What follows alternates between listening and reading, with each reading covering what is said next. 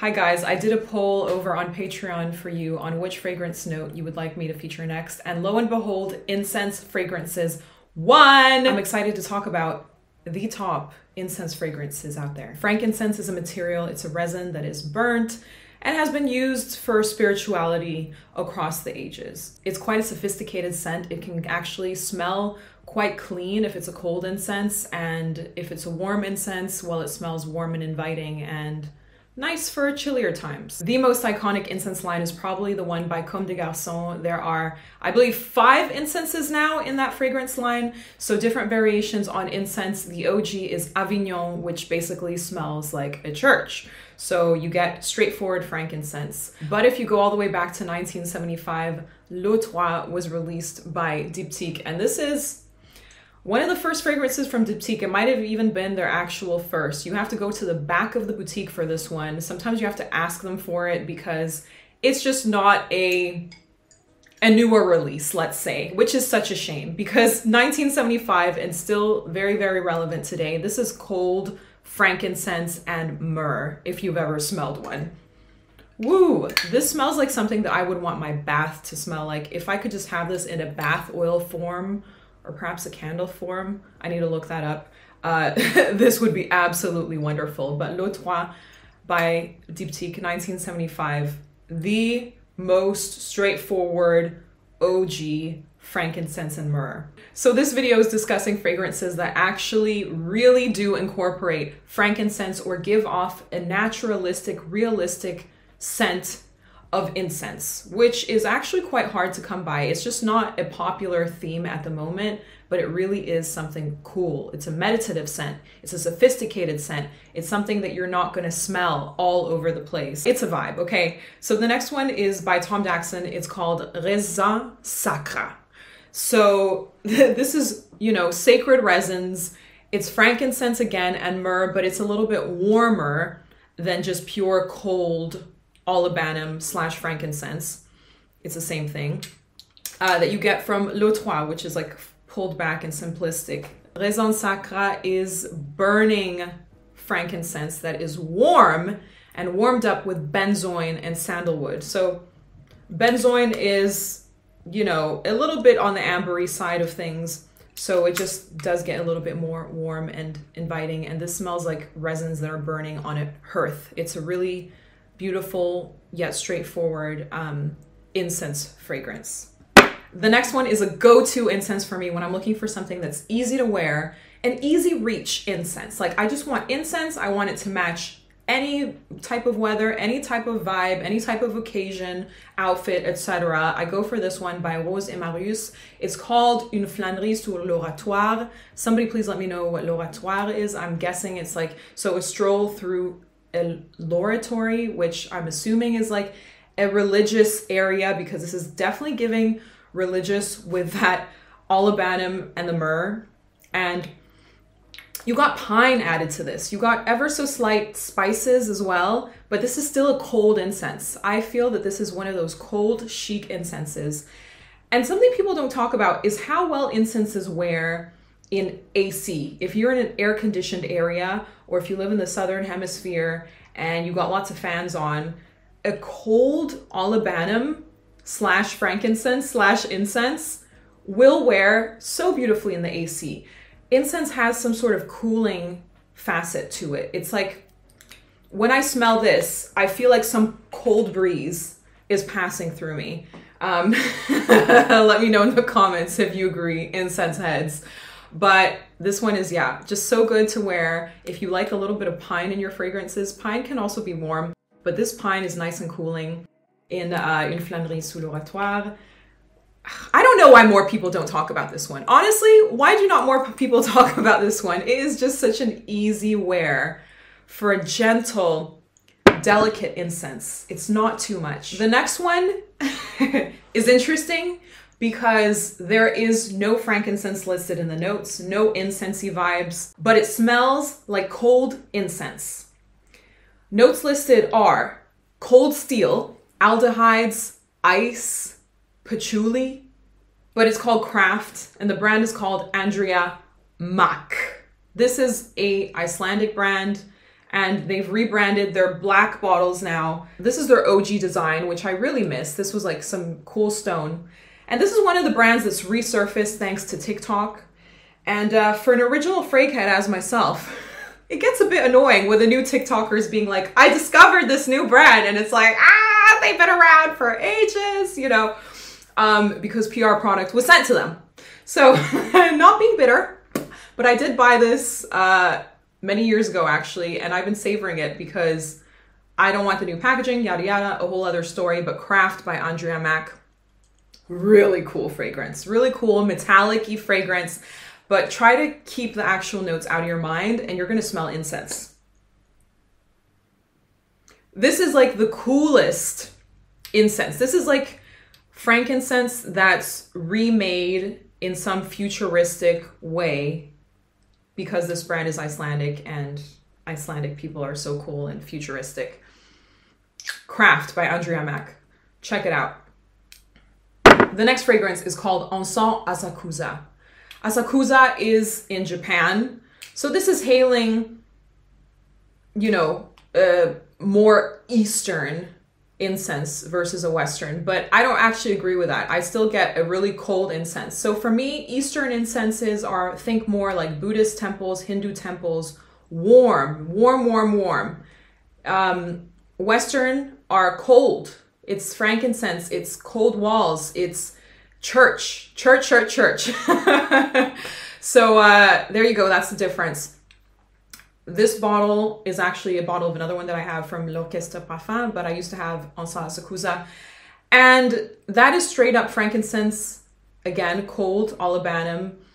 You know, the incense just uh, burning off of the stick, except it's also added a modern take of a chemical vibe that makes it amplified and that makes it fit into the modern times. So it's some sort of ambroxany dry down and pairing the aroma chemical with the incense is just a modern way of doing incense. So this is the first one, Encens Asakusa. Another modern take on incense is Terrible Teddy by Penhaligon's, this cool rhino head right here. Don't fall for the packaging. Don't fall for the packaging, okay? Don't buy it for that reason. I keep saying on this channel. So Terrible Teddy.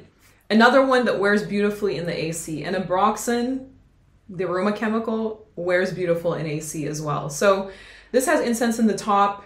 It's a little bit leathery as well, like leather is listed in the notes, but you do get that incense and the ambroxan uh, quite a bit. So it's got a kind of warm facet with that leatheriness, and this is a fragrance that is a crowd pleaser.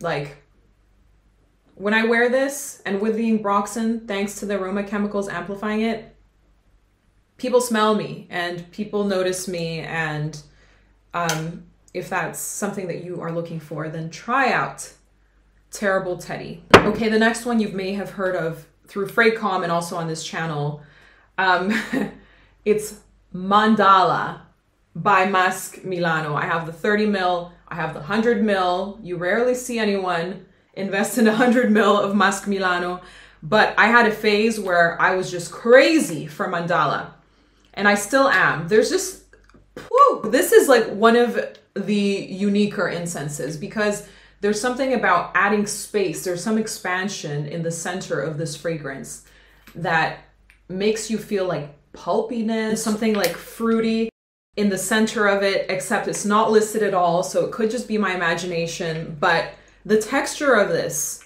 Chris Carbonell, how did you do it? Okay. perfumer, how did you do it? Just something magical about this. So the frankincense, the myrrh, and some spices added to that as well, some cloves and some cinnamon. And you got ambergris in here as well. That could be a facet that's adding this uniqueness to mandala. And a mandala is one of those like spinning pendulums, right? So it's kind of hypnotizing. So this fragrance is definitely hypnotic. If you're looking for not a straightforward in- incense, but an unusual incense, but still quite easy to wear, not that hard to wear. not sweet. Maybe ever so slightly. Like this is just uh it's got so many different sides to it. It does come off as clean as well. So you do get that cold incense. My love for unusual incenses brought me to Sous le Manteau is the brand Vapeurs Diablotines. This one takes it up a notch. Even takes it up a notch from Mandala.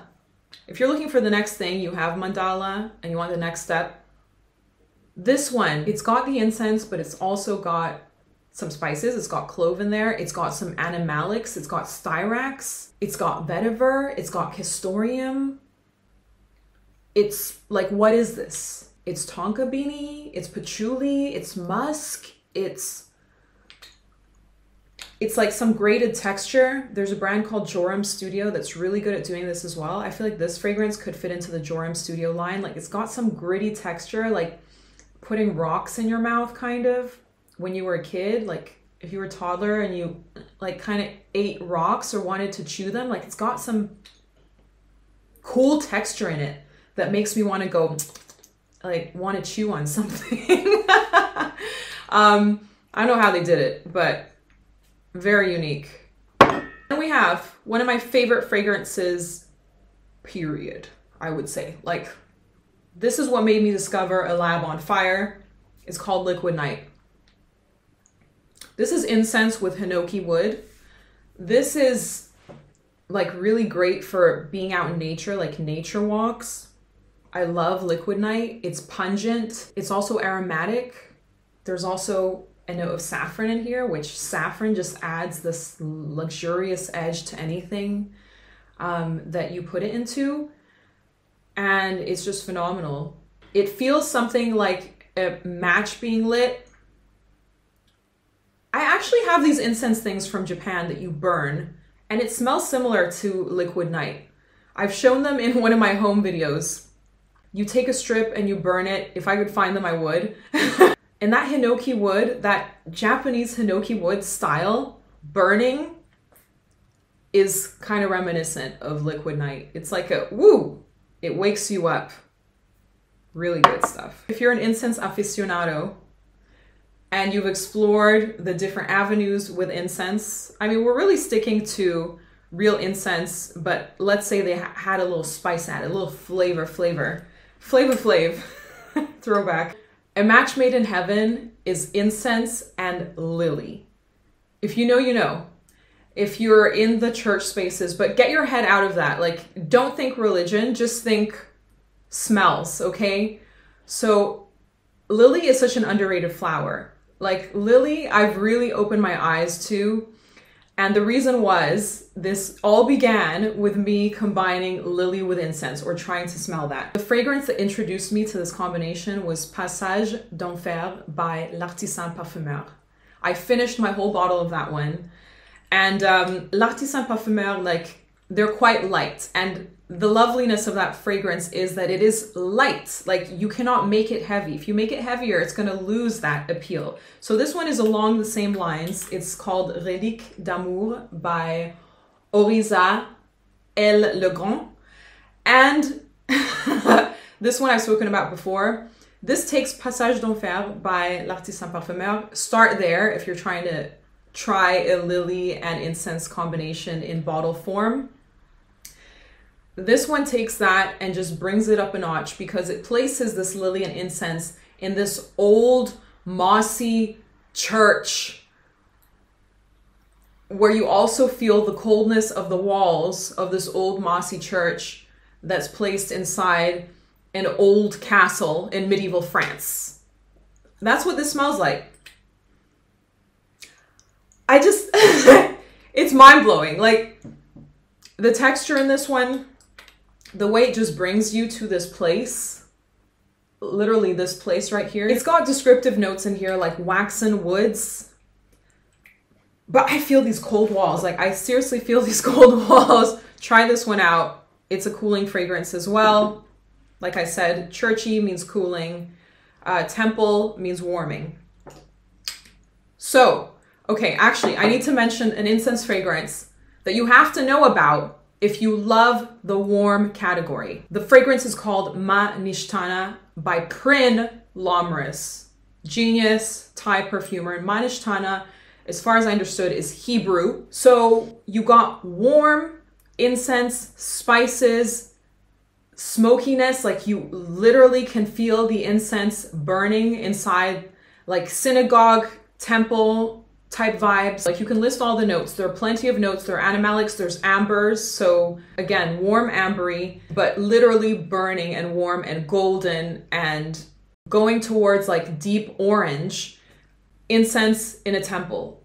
I grew up in Asia as a child, Southeast Asia, and this reminds me of going into the temples, the Buddhist temples where incense was burning. I love the scent. Personally, I can't wear it, but maybe that's something that you can wear. So go out and try it. So we've kind of hit the smoky. we went from straightforward, solid, simple, pulled back to modern, ambroxinated, amplified to weird, unusual to now burntish, realistic. Um, and this one is basically the burning incense version, except it's based on a burning church, Bois by Naomi Goodsir. One of my top fragrances as well from the very beginning. This is literally like burnt down but beautiful, like the aftermath of a bonfire the thing that's left over on your clothes after you've been having a good time singing around the fire, playing the guitar with your friends, except with incense as well, because in there is this concept of that it's actually a church. Bois d'Ascèse, absolutely genius. Lots of other fragrances have tried to follow. I used to have Révolution by Trudon because I wanted something I don't know. This hobby makes you be like, I love this. Let me get five more of the same thing. I don't need it. I just need Bois d'Ascèse, beautiful Naomi Goodsir, the best smoky fragrance for me. Period. And there you have it. My top incense fragrances for you guys. I hope that you enjoyed this video. Please leave me a comment down below with your favorite incense fragrance. If it's one of these, that's absolutely great. if it's not one of these, please share it with the community, something that we need to try. And I will see you in my next video. Thank you so much for watching. Appreciate you. Love you. Bye.